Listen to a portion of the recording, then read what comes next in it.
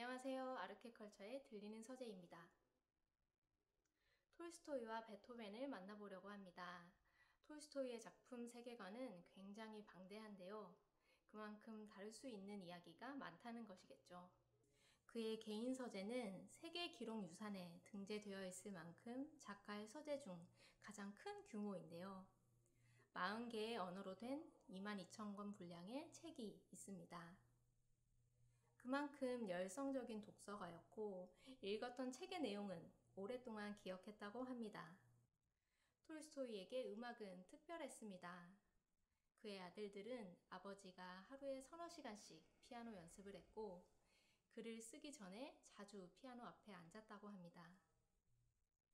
톨스토이의 작품들 속에서도 음악의 역할을 찾아볼 수 있는데요.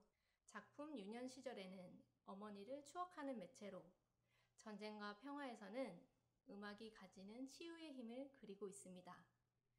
그리고 시간에 따라 음악, 예술에 대해 변화하는 톨스토이의 시각도 함께 살펴볼 수 있습니다. 특히 후기에 썼던 예술론에서는 작가의 감정을 독자들이 느끼고 그들이 작가와 같은 감정을 느낄 때 좋은 예술이 된다고 이야기했습니다. 그리고 개인을 넘어 신분이나 계층을 초월해 하나의 감정을 불러일으키는 것이 좋은 예술이라고 말했습니다. 수많은 사람들이 하나 될 수 있는 감정에는 어떤 것이 있을까요? 사랑, 기쁨, 감격, 평안 같은 감정으로 누구나 공감할 수 있는 내용을 사람은 무엇으로 사는가에서 만나볼 수 있습니다. 톨스토이의 작품에서 베토벤의 음악이 종종 등장하는데요. 유년 시절의 비창 소나타, 알베르트의 월강 소나타입니다. 이 베토벤의 음악이 오랜 시간 사랑받는 이유 중 하나는 톨스토이가 삶의 전체를 아우르는 감정을 이야기했던 것처럼 베토벤 또한 하나의 거대한 작품이 되도록 각 음표들을 끊임없이 유기적으로 배치하고 작품 전체를 이끌어가는 힘이 마치 기쁨, 희망과 같은 인간의 이상과 닮아 있어서이지 않을까 생각해 봅니다.